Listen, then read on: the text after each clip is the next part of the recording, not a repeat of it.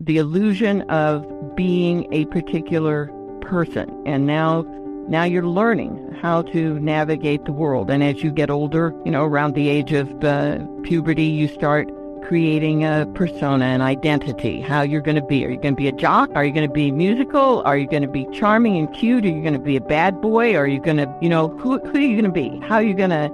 And then, of course, by the time people are in their 20s, they've basically forgotten that they ever went through that process.